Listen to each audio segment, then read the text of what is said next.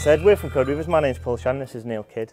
Um, we're, uh, uh, here today to talk about um, the last 18 months of um, uh, the changes we've made to our development practices and processes.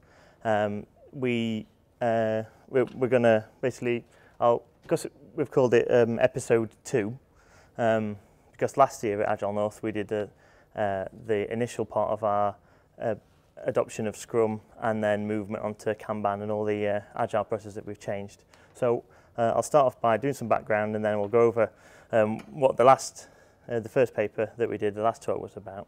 Um, and then I'll go on to um, what we've done the last 18 months. Uh, this presentation um, from the last 18 months is basically a summary of a paper that we've produced for Lero, which is a, um, an agile um, kind of department at the University of Limerick, some of you might uh, know about.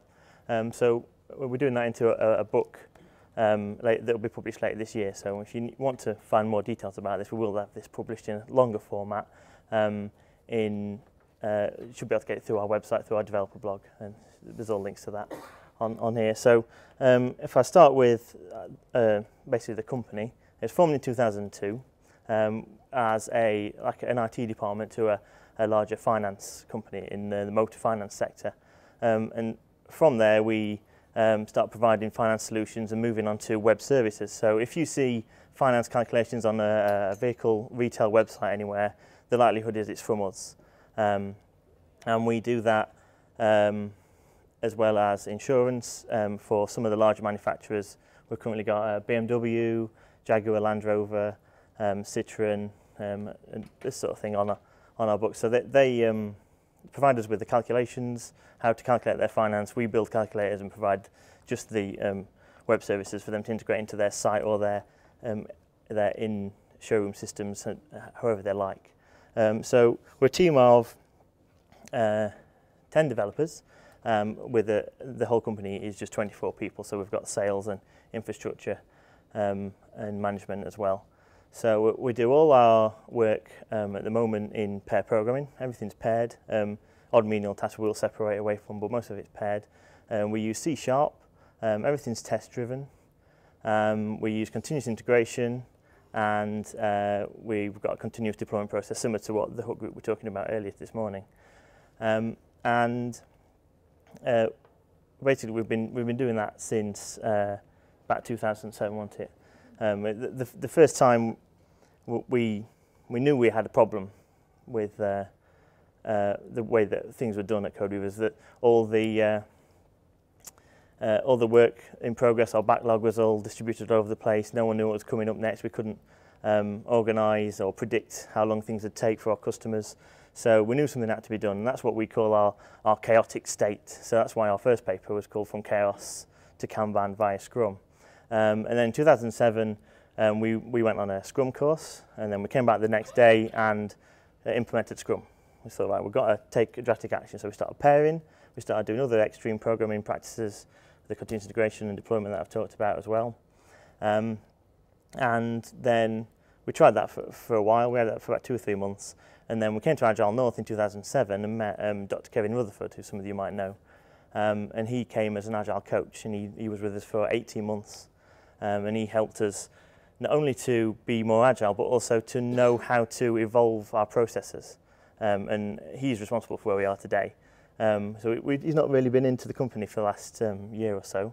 But from what he's taught us on how to inspect and adapt what we do this is how we've come to make the changes that we've got to today.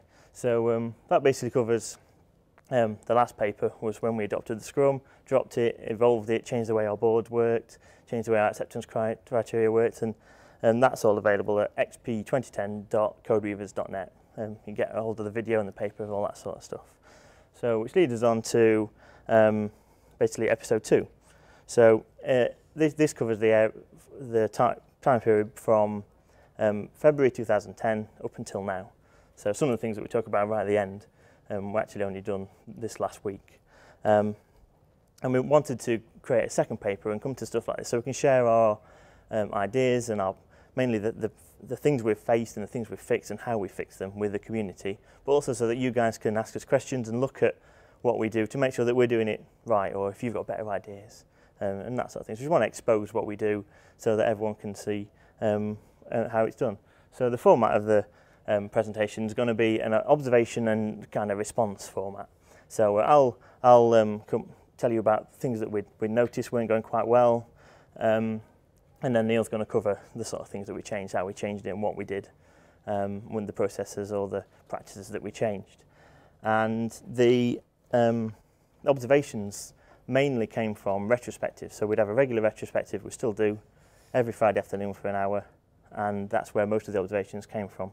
Um, we occasionally have kind of crisis meetings where something's going really bad and something will come from that. Or it's just things that we, we change through like ongoing Kaizen things where um, coming up from the, the, the Toyota's way thinking where you're constantly improving what you're doing uh, by uh, looking at how you work and how you can make it better. So if we move on to the first observation then, um, the backlog, our backlog board, um, was it working? Um, our backlog board was basically one big pin board. It had our MMFs on there, so we had minimum marketable features. Someone spoke about that earlier today. So this was something that someone had uh, required.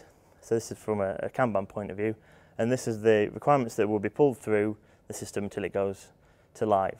Um, so when you're working on it, it'll be on your work in progress board, but if it's not ready yet, it'll be on the backlog board. So we had a big board just full of cards, and they're all split into columns on a per application basis. Um, it it does, didn't really work. Problems we had with it, we couldn't predict, again, um, similar we were in a more chaotic state, when we'd be able to start something, or more particularly, when we'd be able to finish it as well. So um, we couldn't really uh, give clients good estimates, and we weren't, re weren't really sure whether we're charging correctly for the work we were doing. Um, so it was just difficult to see what was going on, and it just really wasn't um, fulfilling its purpose. So we decided to change it. Neil? So, uh, what we did was, it is uh, our managing director went on a course with uh, Mary and Tom Poppendieck, uh, and they uh, slated him and said, well, that's uh, a backlog. And uh, as Paul said, I think that that it looked like we'd got approximately uh, two years worth of work on it. So uh, we uh, set to work on that with a, a technique called the urgent important matrix. It's uh, a technique where you take the board and split it up into four quartiles uh, with a, an axis from uh, not important, important and uh, urgent, sorry, not urgent and um,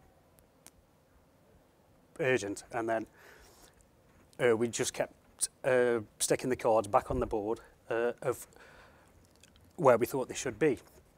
And then we went through that in, in loops. And then the things that were deemed uh, not important and not um, urgent were just slung in the bin, which was extremely hard to do. Uh, because at first it's like, well, uh, I can't throw that away, but it's like, we must do, we must do. Uh, we did that uh, again and again until we got uh, four weeks worth of work. So uh, that worked uh, for us to an extent. A problem that we did get to is that uh, external clients would then say, uh, I need this now. Uh, and we uh, had to learn to say no and say, stop and wait. Or, or uh, at times we'd say to them, uh, which thing first? Uh, so we had to uh, teach them that uh, this is a, a technique that we use now. So uh, that's what we did.